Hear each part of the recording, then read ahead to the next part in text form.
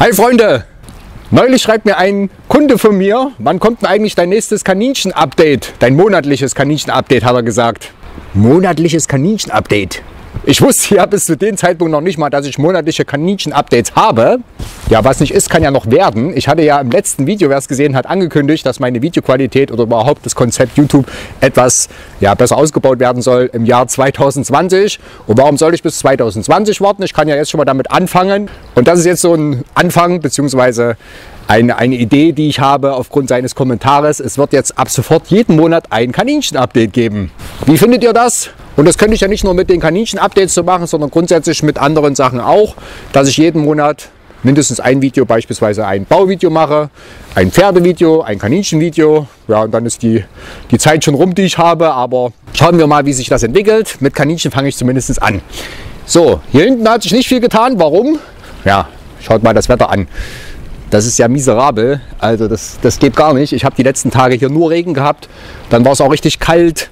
Ja, ich muss ja hier Bretter dran bauen, die will ich streichen und deswegen habe ich es nicht gemacht, weil ich dachte, nee, das bringt nichts. Da geht die Farbe wieder ab und so. Deswegen habe ich hier nicht weitergebaut, tut mir leid, aber sobald das Wetter es wieder zulässt und ich dann auch hier bin, werde ich primär an diesem Gehege weiterbauen. Ich war aber trotzdem nicht untätig. Die, die meine Videos verfolgen, wissen, es gibt jetzt wieder Heuhäuser. Ich habe ein paar Heuhäuser gebaut, ein paar sind wieder verkauft, also lange werden die nicht reichen. Wer die unbedingt haben will, bevor mein Online-Shop online ist, der sollte sich halt, sage ich mal, per WhatsApp bei mir melden und dann kann man das halt auch so kaufen, ohne dass man das über einen Online-Shop bestellt. Ja, das funktioniert auch, mache ich schon eine ganze Zeit lang, aber auf Dauer geht es natürlich so nicht weiter. So fangen wir mal mit dem Update hier an. Da befinden sich ja meine ursprünglichen Ställe, die ich ja ganz am Anfang meiner YouTube-Karriere gebaut habe. Hier, das ist der sogenannte Eckstall-Prototyp. Oben drei Quadratmeter, unten drei Quadratmeter kann man so mit Schienen abtrennen, wie man das möchte. Und hier befinden sich meine Rammler, die nicht kastriert sind oder noch nicht kastriert sind. Bei den einen oder anderen werde ich wahrscheinlich kastrieren, denn die habe ich bis jetzt immer so für die Weiterzucht verwendet. Du wirst noch nicht kastriert, mein Apollo, weil du sollst nämlich, äh, ja, ich denke mal, bald mein Fienchen decken. Und das wird bestimmt ein richtig toller Wurf. Da habe ich ja schon einiges als Nachfrage. Apollo ist mein schönster Rammler, würde ich jetzt sagen. Er ist auch wirklich ziemlich zutraulich. Wie man sehen kann, lässt er sich sogar anfassen und streicheln. Da gibt es ja bei der Hasenbande so ein Kaninchen, das heißt Two-Face. Könnte man jetzt bei denen auch so machen, ne? aber er heißt jetzt schon mal Apollo. Aber ich finde das cool, dass er hier so komplett eine, ja, zwei Gesichtshälfte hat. Hier gibt es also die Trennung, genau mittig. Und deswegen habe ich den damals von einer Zuchtausstellung mitgenommen. Den wollte keiner haben, warum auch immer. Ich bin total glücklich, dass ich ihn habe.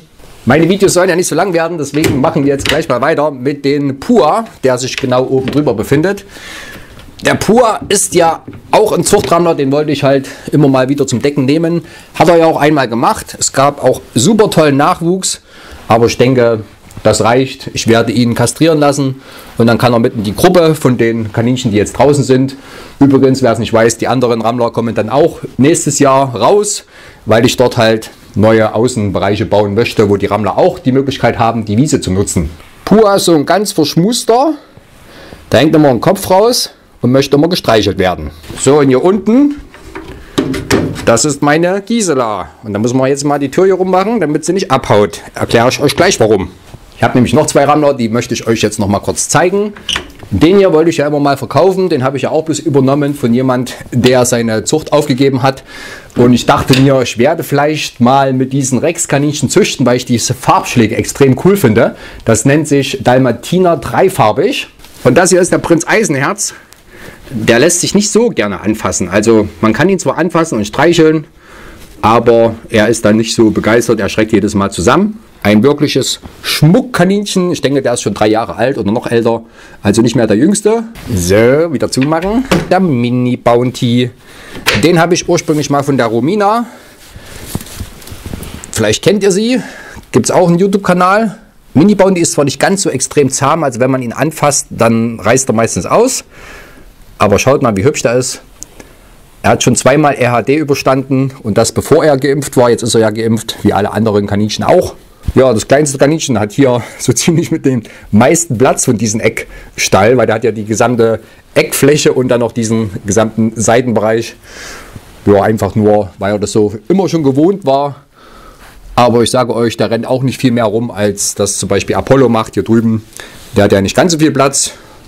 Ja, das macht, glaube ich, keinen Unterschied, ob man so viel Fläche hat oder so viel Fläche. Es ist gleich bescheiden. Also diese Boxenhaltung ist halt nicht ideal für Kaninchen und ich strebe das auch nicht mehr an. Ich möchte das sozusagen beenden. Ja, ich, wo ich angefangen habe, war ich ja der Meinung, das ist viel Platz, was die hier haben. Habe ja extra diesen Stall vorgestellt, um euch zu zeigen, wie viel Platz meine Kaninchen haben. Aber dank euch oder dank YouTube bin ich ja nun auch etwas schlauer und habe ja gewisse Experimente und Erfahrungen gemacht. Und ich weiß, dass Kaninchen in, in solchen Boxen sich nicht wirklich wohlfühlen. Also das kann man nicht vergleichen mit zum Beispiel Kaninchen wie meine Gisela es ist, die jetzt gerade wieder flüchtet, obwohl sie eigentlich auch total zahm ist. Aber irgendein Problem hat sie gerade, weil sie auch vor sich hin strampelt.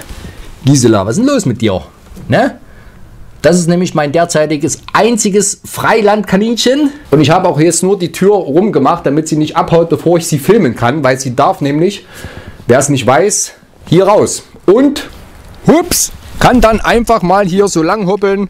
Meistens läuft sie dann den Weg darunter und verschwindet irgendwo da hinten. Sie könnte auch den Weg hier hochhoppeln und da oben auf der Wiese oder da hinten raus, da ist ein Feld, voll viel grünes Weizenzeugs ist da drauf. Macht sie aber nicht, ja. Die Gisela ist nur in diesem Bereich, die fühlt sich total wohl und sie sitzt ganz oft da auf dieser Mauer. Also das ist ihr Lieblingsplatz, da diese Mauer, ne, da in der Ecke und dann liegt sie einfach da und döst vor sich hin. Wo ist sie denn jetzt wieder? Na Gisela, deswegen würde ich jetzt mal behaupten, du bist hier das glücklichste Kaninchen. Das Einzige, was natürlich jetzt doof ist, du hast jetzt momentan keinen Partner, weil deine Freundin, die Steffi, die ja auch draußen frei rumrennen durfte, die ist ja zu weit ausgerissen und die musste ich ja irgendwann einfangen, weil hm, der eine Nachbar hat ja gedroht, sie zu schlachten, wenn sie wiederholte Male bei ihnen auf dem Grundstück sein sollte. Solche Nachbarn habe ich, ne? Sagst du dazu? Ich sage da nichts dazu. Ich finde das doof. Deswegen bleibe ich immer bei dir. Ja, die Gisela, die möchte ich demnächst mal filmen. Äh, da brauche ich aber Zeit, weil ich muss die beobachten. Die verschwindet abends immer. Also die ist dann nicht mehr hier und auch nicht auf der Mauer, sondern die ist irgendwo weg. Und ich weiß nicht wo. Das heißt, die ist jetzt nicht nur tagsüber draußen, jetzt ist sie gerade wieder rausgegangen, sondern nachts auch. Und das schon seit mehreren Wochen. Und ich habe keinen Plan, wo sie sich aufhält. Ich vermute mal, dass die unten in der Scheune ist, weil da hatten die ja diese Gänge gebuddelt. Ja, aber ich muss es halt mal kontrollieren oder irgendwie erforschen, ich weiß es nicht. Ja, auf jeden Fall geht das scheinbar gut. Es gab noch keine Probleme mit Marder oder irgendwelche Füchse oder so, obwohl die hier auf meinem Grundstück vertreten sind, das weiß ich. Habe ich schon hin und wieder gesehen. Gisela, das ist dein Stammplatz. Da sitzt sie ganz oft und manchmal schläft sie da auch. Irgendwie gefällt ihr das da oben auf der Mauer. Ja, das, was ich in meinen Videos am meisten zeige, weil das ja, am vorzeigefähigsten ist, obwohl das ja auch bloß ein Provisorium ist. Das ist nämlich so ein Hundezwinger mal gewesen. Da hat ja ein Sturm mal die Bäume, die hier draußen standen, umgeschmissen. Große Bäume und die haben hier oben das Dach zerstört und ich habe es immer noch nicht geschafft, es zu reparieren. Ja, das muss dann unbedingt passieren. Es regnet dann nämlich rein, ist nicht so ideal. Ich will das eh komplett oben alles neu machen, deswegen stört es mich jetzt nicht so, so sehr, aber die Kaninchen sind halt noch da drin. Außer Fienchen, mein schönstes Kaninchen. Das ist jetzt hier gerade draußen Warum auch immer. Hier draußen ist eigentlich ein Schmuddelwetter, aber sie ist halt öfters draußen als die anderen, habe ich den Eindruck. Ne? Aber jetzt geht sie auch rein. Ich glaube, ihr gefällt es doch nicht so gut hier draußen. So, dann schauen wir mal hier rein. Ich habe heute extra alles sauber gemacht, nur für euch. Und deswegen sind auch die Kaninchen hier drin. Das ist übrigens die Steffi, von der ich vorhin berichtet habe. Sie war auch eine Zeit lang als Freigängerkaninchen draußen unterwegs, konnte tun und lassen, was sie wollte. Und das hat sie auch getan. Da habe ich dieses Jahr auch ein Video gedreht. Oder habe ich das gedreht? Nee, ich habe es gedreht. Da äh, habe ich nämlich gefilmt, wie die Steffi da runter rennt, die Straße und bei den Nachbarn halt reingeht und so. Ja, und das geht halt nicht. Das funktioniert nicht. Also so schön das ist mit dieser Freilandhaltung und äh, ich beweise es ja euch immer wieder, dass die Kaninchen zurückkommen, dass die gar nicht gewillt sind auszureisen, aber die Gefahren sind halt zu groß, wenn die Kaninchen das Grundstück zu weit verlassen. Es gibt den einen oder anderen Nachbarn, der sich daran stört. Kaninchen, was machst denn du jetzt hier unten? So, hier habe ich noch ein Rex-Kaninchen aus eigener Zucht. Das ist eigentlich ein Inzuchtkaninchen und ich habe es behalten, weil es mir besonders gut gefallen hat und weil ich einfach mal wissen wollte, wie sich dieses Kaninchen entwickelt. Ja, das war nicht geplant mit der Inzucht. Ich konnte da auch nichts dafür. Da gibt es auch Videos auf meinem Kanal. Das Kaninchen hat noch gar keinen Namen. Vielleicht werde ich mir irgendwann mal noch einen Namen einfallen lassen. Ich habe auch schon eine Menge Vorschläge von euch bekommen, aber ich bin noch nicht dazu gekommen, mir einen auszusuchen. Habe halt meist wichtigere Dinge zu tun. Auch namenslos ist das hier oben. was sich da auf diesen Samerberger Wiesenheu bequem gemacht hat. Ich weiß gar nicht mehr so richtig, wo ich das her habe. Das sollte auf jeden Fall ein Löwenköpfchen sein, also Zwergkaninchen. Löwenköpfchen ohne Löwenkopf. Also minimal sieht man das mit diesen Herrschen. Ist nicht wirklich zahm. Ja, man muss es halt in Ruhe lassen. Aber ich finde, es sieht hübsch aus mit diesem rötlichen Fell. Na, und jetzt ist es gewillt auszureißen. Es ist halt kamerascheu. Wen habe ich denn hier noch anzubieten? Ich glaube, sie versteckt sich hier. Ah, hier ist auch ziemlich dunkel. Ihr könnt sie kaum erkennen. Zumal auch das letzte Kaninchen, was ihr jetzt noch nicht gesehen habt, sich auch hier drin versteckt. Das ist übrigens der Chef, habe ich den Eindruck. Also so fast der Chef. Ich weiß nicht genau, entweder sie, das ist nämlich meine Eva, mein braunes Kaninchen, auch wenn man es jetzt nicht als braun erkennen kann. Kann man es hier besser sehen? Naja, auf jeden Fall sieht man jetzt hier die Rapunzel. Ja? Rapunzel ist auch aus meiner eigenen Zucht und die ist schon sehr lange bei mir ja, so ein, Mischmasch-Kaninchen. Sieht zwar aus wie so ein Genderbart-Kaninchen, aber es ist einfach nur ein Mischmasch. Und die Eva, mein braunes Kaninchen, ich, ich darf nicht mal sagen Eva braun, weil viele verstehen den Spaß nicht, der dahinter steckt. Und deswegen sage ich mal Eva, mein braunes Kaninchen. Ist zwar dasselbe, aber egal. Eva, das ist halt eine reinrassige Zwergwitter-Häsin. Die ist halt ein bisschen aggressiv, habe ich den Eindruck. Die ja, versucht halt immer den Chef zu markieren, aber sie ist halt ziemlich klein und gerade bei der Steffi hat sie es wirklich schwer. Und Steffi übrigens ist die beste Freundin von meinem Fienchen. Ja, das ist ja hier so ein bisschen das schwächste Kaninchen, aber da Fienchen und Steffi sich so gut verstehen, hat Fienchen es hier total leicht und alle anderen Kaninchen akzeptieren es. Na Steffi, du passt immer schön auf Fienchen auf, ne? Schau, hier ist deine Freundin Fienchen. Renn mal zu deiner Steffi. Los. Zack. Lauf. Lauf, Fienchen. Oder Steffi, komm her. Schaut mal, die beiden haben sich wirklich lieb. Und wie cool das ist, ne? Das große Kaninchen und das kleine Kaninchen nebeneinander. Du hast ja so richtige Segelohren. Dass du noch nicht abgehoben bist, wenn hier die Windböen kommen, wundert mich. Ja, die Steffi ist eigentlich auch ziemlich zahm. Fienchen geht so. Also wenn man sie streichelt, haut sie meistens ab. Oh, Meistens halt. Und bei Steffi, naja, ist auch so. Manchmal geht's, wie jetzt. Und manchmal halt nicht. Hier hat sie bestimmt mal eine Verletzung am Auge gehabt, deswegen sieht das hier so ein bisschen komisch aus. Aber ich finde es das toll, dass die so zahm sind, weil das genau das ist, was ich gerne möchte.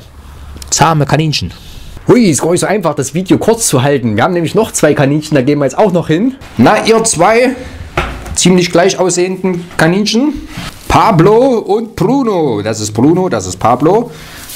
Ja, hier, hi Pablo. Auch alles hier schön sauber gemacht heute. Außer hier hinten die Ecke. Das Stroh war noch relativ gut. Ich muss ja gestehen, die sind immer noch nicht kastriert. Ich wollte es letzte Woche machen lassen, aber hm, bin nicht dazugekommen, ja. Ich bin jetzt eine Woche auf Montage und dann habe ich mir vorgenommen, dann wird das endlich passieren. Denn der Bruno, soll mit der Gisela zusammen raus. Ja, das sind halt zwei große Kaninchen. Also er ist auch ein deutscher Witter und deswegen, ich finde das gut, wenn man das halt mit großen Kaninchen macht, dann sind halt die Gefahren der Fressfeinde nicht so groß. Wobei der Pablo ist auch relativ groß geworden. Das ist ja ein Nachwuchs vom Mini-Bounty, man glaubt das kaum. Und die Gisela war, glaube ich, die Mama. War das Gisela die Mama? Ich, hab, ich verliere immer den Überblick bei mir. Ja, Pablo, der hat mir besonders gut gefallen, deswegen habe ich ihn auch behalten. Wenn Sie könnten, würden Sie natürlich rausgehen zu den Weibchen. Können sie aber nicht. Na, oder Fienchen würde auch gerne vielleicht reingehen zu den Rammlern. Das wäre jetzt vielleicht der Zeitpunkt, wo Fienchen wirklich gedeckt werden könnte, weil sie scheint daran interessiert zu sein. Aber das ist alles zu stressig zurzeit bei mir und deswegen, ich will mal das Ganze ruhig angehen. Ich denke mal, im Januar werde ich sie decken lassen und dann, ja, so Ende Februar habe ich dann halt Nachwuchs und dann Mal schauen. Fienchen, was sagst du dazu? Möchtest du lieber den Pablo als Papa von deinen Kindern haben oder soll der Apollo dein Papa, der Papa werden? Aber Apollo passt mehr zu dir, weil das nämlich auch ein Zwergwitter ist. Und guck mal, wie schön das Fienchen aussieht. Ist das nicht wirklich hübsch? Also nicht nur die Farben, sondern auch die, die Kopfform, alles. Da passt einfach alles. Hier vorne das Weiße. Yeah? Meine kleine Süße, du. Ich glaube, die Videozeit, die ich mir vorgenommen habe einzuhalten, ist wieder am Ende. Deswegen muss ich es leider wieder Tschüss sagen. Ciao, bis zum nächsten Mal, sagt euer Jörg.